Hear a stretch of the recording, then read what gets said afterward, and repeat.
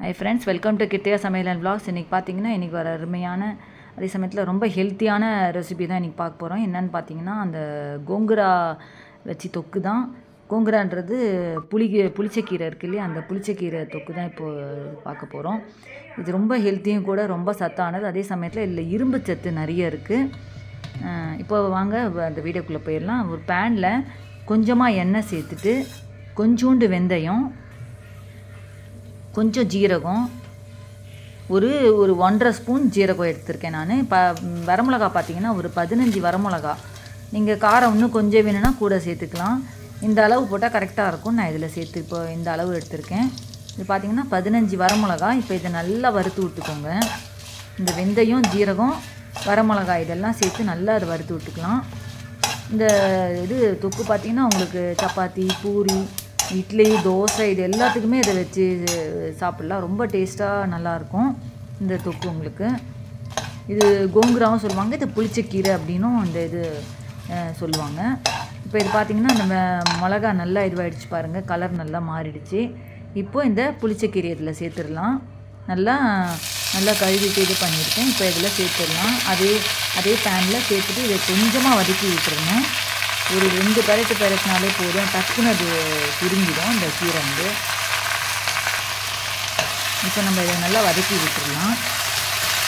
இது ரொம்ப நாள் இது செய்ய வேண்டாம்.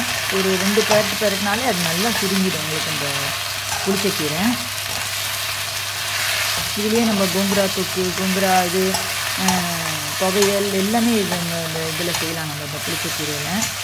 இப்போ பார்த்தீங்கன்னா இந்த பாருங்கள் இப்போ நல்லா அது சுருங்கி கலர் மாறிடுச்சு பாருங்கள் இப்போ இந்த ச இந்த மாதிரி சமயத்தில் இப்போ நம்ம இதெல்லாம் ஆற வச்சுட்டு மிக்ஸி ஜாரில் இப்போ இது எல்லாத்தையும் சேர்த்து அரைச்சி எடுத்துக்கலாம். இப்போ அந்த கோங்குராவும் மிளகாய் வெத்தலும் வெந்தயம் ஜீரகம். இப்போது இதெல்லாம் சேர்த்துருக்கேன் அதில். மிக்ஸி ஜாரில் கொஞ்சோண்டு புளி கொஞ்சம் உப்பு.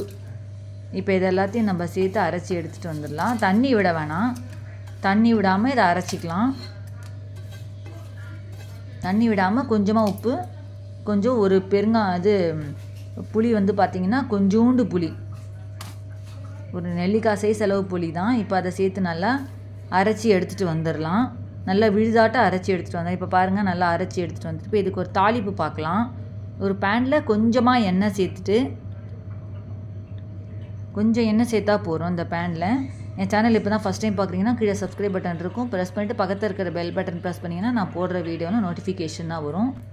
இப்போ பாருங்கள் இப்போ இதுக்கு தாளிப்பு பார்த்துடலாம் கொஞ்சமாக எண்ணெய் சேர்த்துட்டு இதில் கொஞ்சோண்டு கடுகு.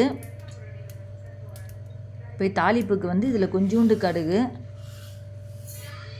இப்போ இதை நீங்கள் வந்து அரை அரைக்காமையும் அப்படியே கூட இந்த அப்படியே இது பண்ணி செய்யலாம். நான் வந்து அரைச்சி செஞ்சால் கொஞ்சம் டேஸ்ட் கூடுதலாக இருக்கும் அப்படின்னு அரைச்சி செஞ்சுருக்கேன். மிளகா வத்தல் பார்த்தீங்கன்னா ரெண்டு மிளகா வத்தல் கொஞ்சோண்டு கருவேப்பிலை சேர்த்துருக்கேன்.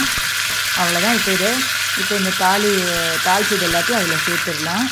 இப்போ பார்த்தீங்கன்னா ஒரு அருமையான ஒரு கோங்குராப்பு தொக்கு ரெடி ஆகிடுச்சு பாருங்கள் கொஞ்சோண்டு உளுத்தம் பருப்பு. இப்போ இது எல்லாத்தையும் தாளித்து அதில் சேர்த்துடலாம். அவ்வளோதான் ஃப்ரெண்ட்ஸ் ஒரு அருமையான கோங்குரா தொக்கு ரெடி ஆகிடுச்சு பாருங்கள் புளிச்சக்கீரை தொக்கு. இந்த வீடியோ உங்களுக்கு பிடிச்சிருந்தா லைக் பண்ணுங்கள் லைக் பண்ணி சப்ஸ்கிரைப் பண்ணுங்கள் சப்ஸ்கிரைப் பண்ணி பக்கத்தில் இருக்கிற பெல் பட்டன் ப்ரெஸ் பண்ணிங்கன்னா தான் நான் போடுற வீடியோவில் நோட்டிஃபிகேஷனாக வரும்.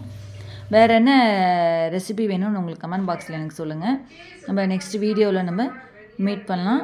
இதே இதில். தேங்க்ஸ் ஃபார் வாட்சிங் பை பை